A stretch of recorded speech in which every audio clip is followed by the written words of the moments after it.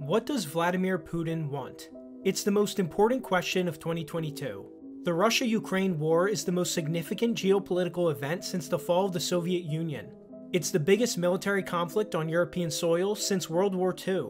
The initiator of the war, Russia, is led by its president, Vladimir Putin. He and his inner circle essentially rule Russia, and they have the backing of most of the population. Putin's unique among European politicians in that he actually wields serious power over his country. While in many countries, politicians take orders from corporations and NGOs, in Russia, it's the other way around. Putin is the one who gives the orders. Because of Putin's decision making power, exploring his philosophy is absolutely vital to how we in the West should see this war and Russia as a whole. What are Putin's motivations? What does he want the future of his nation to look like? How does he view Russia's relationship with the West? All of these questions and more demand answers, and I'll be providing them in this video. Let me begin by saying that I understand the Russia Ukraine war is very controversial. There are understandable points of view on both sides. Some people support Ukraine for a variety of reasons, some better than others. And some people support Russia for a variety of reasons, again, some better than others. However, we should note that here in the West, Russian media has been extremely censored, and the average person has really only heard the Ukrainian and NATO side of the story. Russian media has been banned from many social media platforms and even some countries. This hasn't done wonders for people's knowledge about Russia. There was a poll this year that found that 40% of Americans think that Russia is still today a communist country, Misinformation and misconceptions are absolutely rampant about Putin and Russia, and I want to do my part to clear things up. This video's goal is to cut through the red tape to honestly and rationally analyze Putin's worldview. This is the philosophy of Vladimir Putin. We can only judge a man by his words and his actions, so to begin to understand Putin, we have to look at these two things. Let's turn the clock back to February 24, 2022, Putin gives the order for Russian troops to begin entering Ukraine and supporting the Russian separatists in the region. The night he gives the order, he gives a long speech declaring exactly why he made the decision. This speech has since been dubbed the Empire of Lies speech, as Putin uses this phrase to refer to American global hegemony. Some of the key points he made include governments of Western countries have been creating fundamental threats to Russia through international subversion. The people ruling Western governments are not open to negotiation, they do not see Russia as an equal and demand to bend to their liberal beliefs. Western leadership ignores all agreements Russia doesn't have the power to enforce. For example, NATO's pledge not to expand eastward. The rules based international order is a farce where international liberalism is forced upon the world. And finally, American allies like Germany and Japan are not sovereign, but glorified satellite states. Perhaps the most important thing about this speech is that it reveals Ukraine is almost an afterthought to Putin. His problem isn't necessarily with Ukraine, but its current government and the unipolar, liberal international order it's trying to advance. Now, just to be clear here, when I use the word liberal in this video, I'm referring to liberalism specifically. Liberalism is the political doctrine that believes politics should be centered around so called human rights and individual freedom. Don't worry, I'll elaborate more as the video goes on. Putin believes that NATO, directed by the United States, is merely using Ukraine's government as what he calls an anti Russia. The crisis has become, in his own words, life and death for the Russian state. He believes the Ukrainian government was plotting with NATO to weaponize the country against Russia, as well as to harm the Russian minority in Ukraine. And given how NATO leaders have turned Ukraine into basically a proxy war against Russia, there appears to be some truth to those claims. This is why he ordered the annexation of Crimea in 2014, and it's why he invaded Ukraine wholesale in 2022. Knowing the last 80 years of geopolitics is critical to understanding Putin's mindset here. The United States emerged from World War II as the sole global superpower. Every other major power in the world, on both sides of the conflict, was devastated. Former superpowers like Germany and Japan, on top of being devastated, also lost huge swaths of territory. This ensured that up until present day, both countries have basically been under American military occupation. Putin has even called out the bombing of Dresden and Hamburg in World War II as having no military necessity. He says it was merely done to destroy Germany and reduce its potential power in the future. After the dust of World War II cleared, only the Soviet Union rivaled the United States, but even they were never really in the same economic or military ballpark. After the Soviet Union dissolved in the 1990s, the gap between America's power and any of its potential rivals was arguably the widest between nations in human history. No one could compete with America. And for the last 30 years, American elites have used this dominance to project their radically liberal ideology to the entire world. The people who support this policy are generally called neoconservatives and neoliberals. But their actions have left many people and many countries asking the question should the United States really be the world police? And is liberal democracy really all it's cracked up to be? Now, it's critical that we understand Putin's view of these last 30 years and on the Soviet Union specifically. He has an interesting view of the Soviets. He famously said that its collapse was the greatest geopolitical disaster of the century. But contrary to what some think, Putin didn't say this out of any love for communism. Instead, it's because of what happened in Russia after the collapse. It's hard to understate just how laid low Russia was in the first post Soviet decade. The Russian state was shattered and the economy entered rapid privatization. Inflation, unemployment, alcoholism, and suicide all skyrocketed. Western financiers descended on the country to buy up its bankrupt economy for pennies on the dollar. For Russians, it was a genuine catastrophe. And all this happened while Russia's liberal president, Boris Yeltsin, stood by and let it all happen. He ended up leaving office with an approval rating in the single digits. This was the democratic Russia that Putin inherited. It was under his leadership that Russia recovered from that horrible position. Now, at this point, I think it's fitting to deal with the accusations that Putin is a communist. To know whether this is true, we merely need to look at how he governs Russia. Putin is clearly not a communist from both his words and his actions. He's denounced both communism and Lenin directly. He acknowledges the Soviet Union is gone and can't be recreated. The Russian government has partnered with the Orthodox Church and built statues to Tsarist era figures, things unthinkable in the Soviet regime. One of Putin's political idols is the Tsarist era reformer Pyotr Stolypin. He's famous for almost successfully reforming the Tsarist system.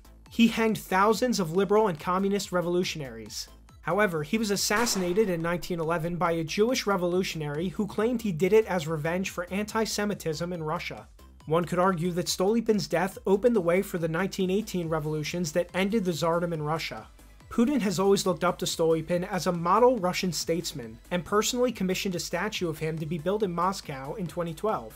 Putin's government has also built monuments to other Tsar era figures, including Tsar Alexander III and Grand Duke Sergei Alexandrovich. Grand Duke Sergei was yet another victim of leftist revolutionary violence, being killed by a bomber in 1905. Commemorating these figures shows that Putin stands firmly against the forces that created revolution in Russia. At the same time, Russian state media has created documentaries like the 2017 series Trotsky. It portrays the Bolshevik period as a time when non Russians ruled over Russia. I've seen some commentators call this documentary an explicitly fascist piece of media.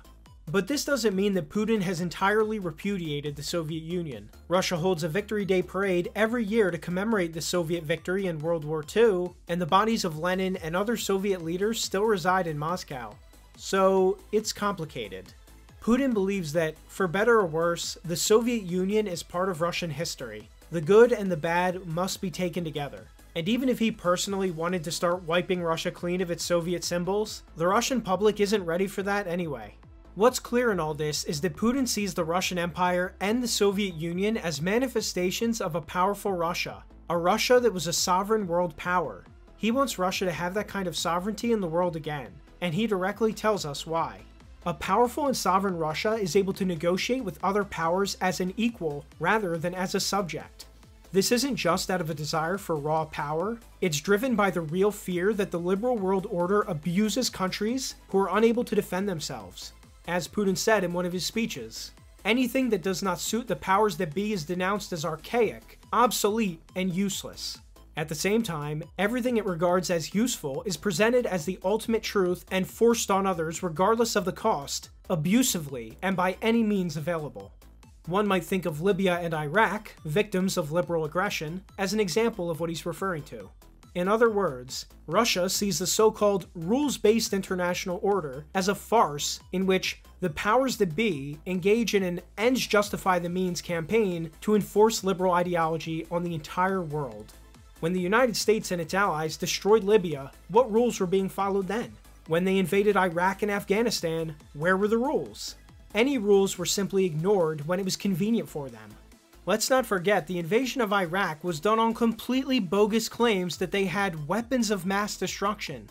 They didn't. American intelligence groups lied.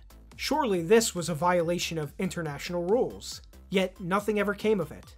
This constant hypocrisy is why Putin declared, Therefore, one can say with good reason and confidence that the whole so called Western Bloc formed by the United States in its own image and likeness, is in its entirety an empire of lies. But this aggression from Western elites isn't just physical, it also comes in the form of spiritual and mental assault. They promote atheism, LGBT, pornography, and mass immigration everywhere they gain a foothold. Countries that were once majority white Christian, like France and Germany, have slowly been transformed by liberal forces. Within the next few decades, their native populations could become ethnic and religious minorities in their own countries. Putin sees this as an inevitable outcome anywhere liberal internationalist ideology takes root. He does not want it in Russia. To quote him again, they sought to destroy our traditional values and force on us their false values that would erode us, our people, from within. The attitudes they have been aggressively imposing on their countries, attitudes that are directly leading to degradation and degeneration because they are contrary to human nature. Since World War II, the political ideology of liberalism has manifested mainly in what's called liberal democracy. This is a democracy where minority rights are given precedent over the rights of the majority, and anti liberal ideas are banned from discussion. It's this philosophy that Putin believes has gotten out of control. But why would he believe this? Let's again use some examples, like the European Union. The EU withholds funding and engages in political sabotage in order for its members to accept liberal causes like the LGBT movement, abortion, mass immigration, etc. Various international NGOs infest liberal democracies and push anti traditional agendas to the youth. Because the mechanisms of liberal democracy give these NGOs the right to say and do whatever they want, politicians in these countries are powerless to stop them. This is why support for all forms of liberal attitudes have skyrocketed in Europe over the last few decades, especially among young people. One side of the argument is promoted by all of these international forces, while the other isn't even allowed to make its case. Putin actually believes that much of this ideology is deliberately promoted by America to weaken its rivals and so called allies. In effect, the American elite is using these things to weaken its rivals, to destroy nation states, this goes for Europe and the identities of France, Spain, Italy, and other countries with centuries long histories. Some portray Putin as someone who hates the West, but quotes like this show it's actually the opposite. He believes Western countries have great histories that are being thrown in the trash by their own governments. Let's look at a country like Ireland as an example of the trend Putin's talking about. When the country gained its independence in the 1920s, it was almost entirely ethnically Irish. It was over 90% Catholic and maintained its traditional Irish culture. But after 100 years of liberal democracy, the country is now undergoing mass immigration, Catholicism is declining, abortion is legalized nationwide, and LGBT is not only legal, but criticizing it is banned. One could easily argue that the liberal system is destroying Ireland's identity and culture. Putin and the rest of the Russian leadership know this, They've watched it happen in real time, not just to Ireland, but to many liberal democracies. Meanwhile, Russia, over the same time period, has effectively banned pornography and LGBT propaganda. It's cracking down on abortion and promoting Christianity. It also doesn't demonize its majority Russian population, and Putin has even flirted with ethnocentric ideas. When annexing the Russian areas of Ukraine, he said, there is nothing stronger than the determination of millions of people who, by their religion, culture, traditions, and language, consider themselves part of Russia, whose ancestors lived in a single country for centuries. All of this is to say that Russia has gone down a wildly different route than America and its allies over the last 50 years. Some American politicians are now even calling Russia a world center of anti feminist, anti gay, and anti trans hatred. It seems that many Western leaders hate Russia because it's a white, Christian country that doesn't bow down to them. Notably, this is the same hate they hold for white Christians in their own countries.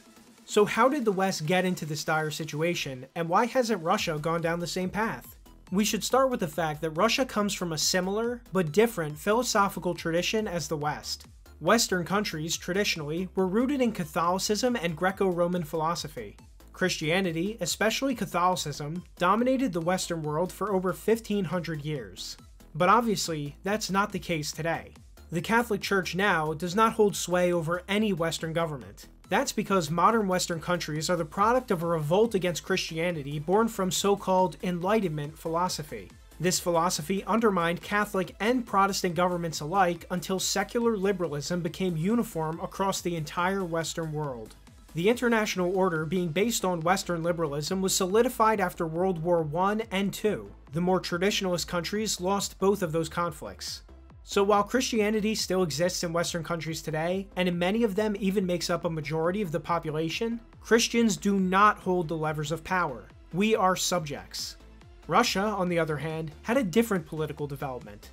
They come from an Orthodox Christian tradition, which began moving in a different direction from Catholicism since the Great Schism of 1054. The Catholic and Orthodox traditions have a lot in common, but they also do have differences. As the years went by, Russia didn't have a Reformation or an Enlightenment in the same way that the West did. They were later to both the development of capitalism and the Industrial Revolution, two major changes in human civilization. This meant the traditional Russian system, the Tsardom, was able to last all the way until World War I, when it finally fell to liberal and communist revolutions. Russia's liberals were overthrown by communists before they could even begin to bring liberalism into the country. Thus, Russia effectively skipped liberalism in its political development. Instead, communism ruled over the country for over 70 years. It then finally collapsed from its own contradictions in the 1990s. I'll note that communism, like liberalism, is an Enlightenment philosophy, but they both place emphasis on different things. While liberalism focuses on radical ideas of liberty, communism focuses on radical ideas of equality. Both ideologies are secular and are both breaks from the Christian tradition of Europe. However, of the two, liberalism proved much more lasting and effective at indoctrinating entire nations into following it. While communism couldn't even last 100 years, liberalism has continued and has only gotten more radical in its approach to so called liberty. Note how today, major political parties in liberal countries argue for the liberty of children to get sex changes or the freedom of companies to distribute pornography. American scholars like Robert Bork observed this trend firsthand as early as the 1960s. In his book Slouching Towards Gomorrah, he wrote, we have learned that the founders of liberalism were wrong. Unconstrained human nature will seek degeneracy often enough to create a disorderly, hedonistic, and dangerous society. Putin understands all of this history, and he seems very happy that liberalism never took root in Russia like it did in the West. He subscribes more to a political philosophy called reactionary modernism. This philosophy involves integrating aspects of modernity into a traditional moral framework, this means making some concessions to the Enlightenment, like having a parliament, minor voter representation, nationalism, male suffrage, etc. Francisco Franco's Spain and Fascist Italy are examples of this political philosophy. This is why, despite Putin and his circle ruling Russia with an iron hand, they still have a constitution and a parliament. In their view, the world has changed too much to go back to a feudal or pre modern system of government. But unlike in the West, it doesn't mean you have to abandon the moral and spiritual values of those eras. Much of this comes from the fact that Putin himself is a Christian, and I believe his faith is genuine and plays a major part in his worldview. The Russian government has had a completely new relationship with religion since the fall of communism in the 1990s. Under communism, Christianity was suppressed and atheists were promoted. But the Russian state that emerged from communism's rubble is practically the opposite. The Russian Orthodox Church has a close relationship with the Russian state that's very different from the way churches work in the modern West. Religions in Russia operate in a tier system where traditional religions get more privileges. Orthodox Christianity sits alone in the top tier and is basically recognized as the official religion of Russia. Other traditional religions like Catholicism and Islam are in the next tier. While they don't get as much benefits as the Orthodox Church, they're tolerated and given serious recognition. Finally, in the bottom tier, you have newer religions like Scientology. They get the least privileges. So while Russia isn't a theocracy exactly, it's far different from a secular government that treats all religions as equal. Putin strongly disagrees with the idea that governments should treat religions like Christianity and Satanism the same. Speaking of Satanism, Putin has called modern liberalism itself satanic. This complete renunciation of what it means to be human, the overthrow of faith and traditional values, and the suppression of freedom are coming to resemble a religion in inverse, pure Satanism. Putin's been careful in everything he said to point out it's the people governing Western countries that he's in conflict with, not all Western citizens. He sees traditionally minded Westerners as occupied peoples living under elites that despise them as much as they despise Russia. In an October speech, Putin pointed out he believes there are two Wests. One is a West of traditional, mainly Christian values with which Russians feel kinship. But there is another West, an aggressive, cosmopolitan, neo colonial, acting as a weapon of the neoliberal elite and trying to impose its pretty strange values on the rest of the world. Thus, Putin believes that Western leaders want to destroy not only Russian culture, but all traditional cultures in the world. Let me repeat the dictatorship of the Western elites targets all societies, including the citizens of Western countries themselves. This is a challenge to all. The craziest thing about this whole situation is that Putin was open to integrating Russia and the West, but Western social policies have gotten so intolerable that he would rather go to war than have them take root in his country. This affinity for the West is part of what separates Putin's philosophy from Alexander Dugin. Dugin, by contrast, has fully repudiated the West and believes Russia must embrace full fledged Eurasianism. There's a growing consensus among scholars that Putin doesn't follow any one specific philosopher. He firmly believes that the Western liberal system has failed and alternatives to it emerging are inevitable. Ultimately, Putin does want peace with the West, but a peace where Russia's civilization is respected and not meddled with. This isn't just about protecting Russian minorities in Ukraine, it's about solidifying a multipolar world order. A world order where America no longer dictates terms to every country it deems backwards or failing to meet its definition of free. The Russian state says it must be treated as the thousand year old civilization that it is, and not just another pawn to be forcibly injected with liberal values. Current Western leaders refuse to compromise on any of these points, and thus the Ukraine war was inevitable. I made this video because it's important that we understand Putin's philosophy. He represents the views of both the Russian elite and the majority of the Russian public. He is not a man standing alone. He's not a puppet of a shadowy cabal. He's the legitimate ruler of an entire nation. Understanding the philosophy of Putin will help us achieve a more just, moral, and peaceful future, and hopefully, a better West.